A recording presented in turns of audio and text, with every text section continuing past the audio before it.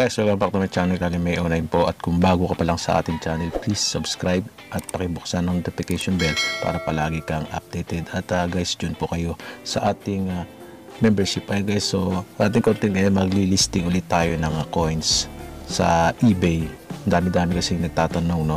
So, gagawa tayo ng part 2 para mapanood din ng iba. Iba kasi hindi lang mahanap yung ating uh, content kung paano tayo nag uh, post or nag-listing ng uh, coins sa eBay. Kaya ngayon ang ating ililisting na coins sa eBay ay ito po ang 2019 uh, low vintage itong mga 2019 na ito yun, no, na lower mid mark. Kasi yung common nitong 2019 ay yung pong upper mid mark.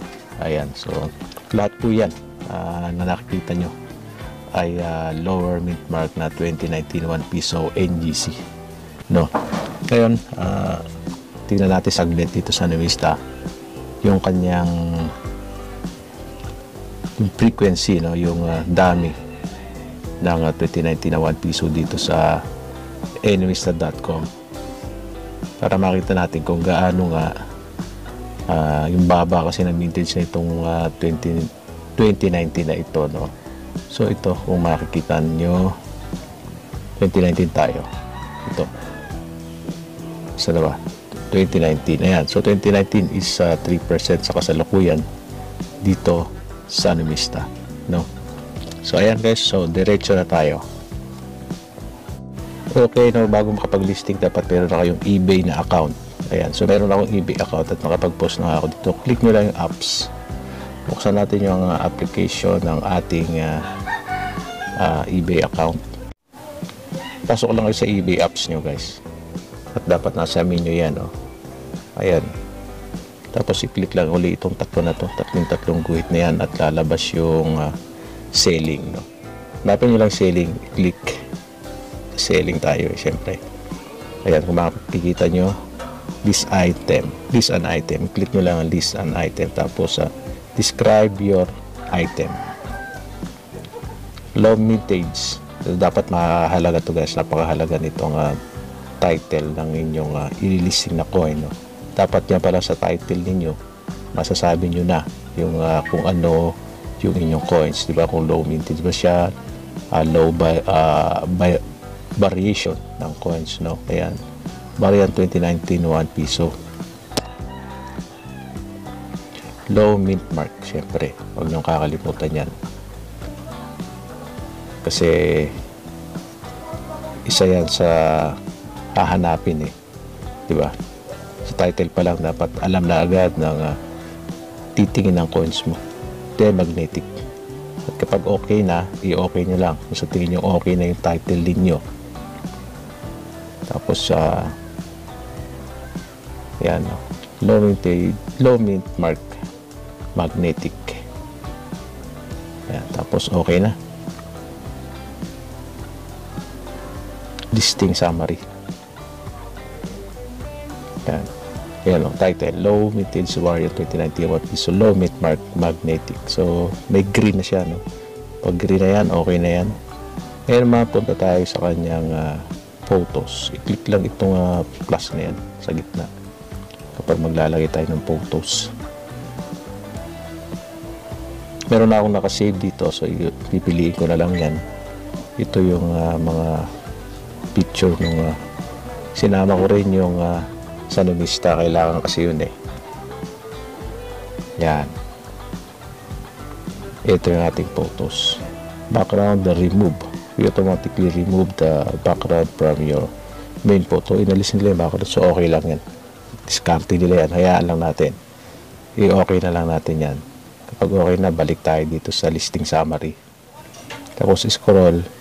Uh, punan yung kasunod no? Specification tayo. Sa item specification tayo dito sa KM number ilagay, ilagay natin yung KM number ng coins na ating ililisting. Siyempre uh, ah, 300 ang ano nito eh KM number nito ng 2019 yan okay siya. Tapos kung gusto nyo lang magdagdag ng mga item specifics scroll nyo lang. Andyan pa sa baba yung ibang mga ano nyan yan circulated uncirculated. I-click nyo lang. Siyempre, siyempre circulated na tong coin natin. Hindi naman siya uncirculated eh. Yan tapos uh, nickel uh, plated steel ang ah, composition yan. So sa inyo guys, kung pupunan nyo lahat ng ah, item specifics yan, punan nyo lang. No? Kunin nyo lang yung detalye, i-search nyo lang siya para mapuno nyo yung item specifics yan. Pero sa akin hindi ko na ilalagyan. At, at least na highlights ko lang sa inyo kung paano no, para mas mabilis. Ayan, so ah, okay yung ating ah, item specific. May category na rin yan. Description, okay na rin yan. Kung may gusto kayo idagdag sa description, i-click nyo lang. Ayan.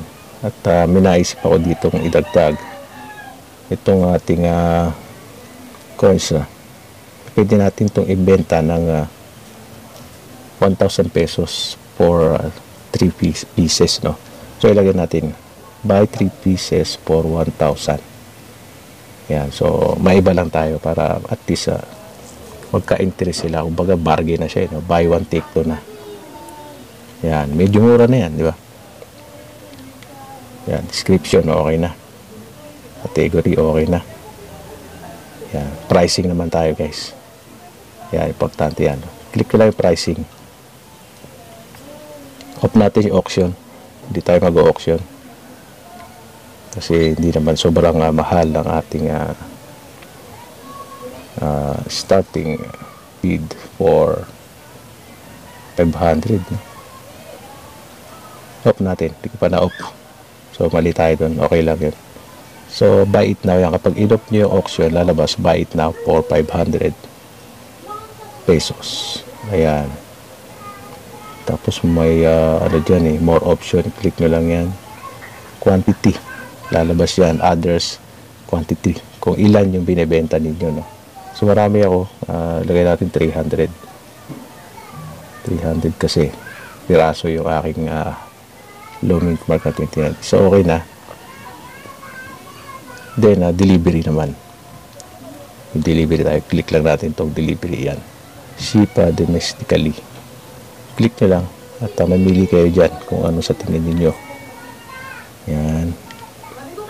5 to 10 business days pwede na kasi domestic lang yan eh no tapos lagyan natin ng uh, ano yan? Shipping fee no? 200 pwede na yan tapos add uh, additional contact domestic uh, service. Kapag okay na ship uh, internationally naman. Yan. Piliin natin yung uh, pinaka ano lang. Yan economy. Economy lang tayo doon. Lagyan natin ng shipping fee for uh, kano ba? Bio pays flat shipping. 200 uh, 300 pesos pwede na yan. Internationally. Kasi uh, nagpa-practice pa naman tayo guys sa paglilisting ng coins. Kasi pangalawang beses ko pa lang ito naglisting ng coins dito para lang ipakita sa inyo. No para maging guide ninyo kasi nga dami-dami nagtatanong Ayan, so preferences, okay na. Yan o. Oh. Andiyan yung PayPal ko kasi meron na akong record eh. PayPal yung ginamit ko dito eh, di ba? So ayan, list your item. Click natin. Pag okay na. Listing error. Oops, may error ah. This listing uh, would uh, oh, may mali tayo. Pag ganyan, balikan natin guys, reviewin natin para makita natin kung ano yung ating pagkakamali dyan. Sa quantity siya, sabi dyan sa error. Balik tayo dun sa pricing. Pricing yun eh. Saan naman yung pricing? Ito pricing. Kasi yung quantity ko dito mali pala yan.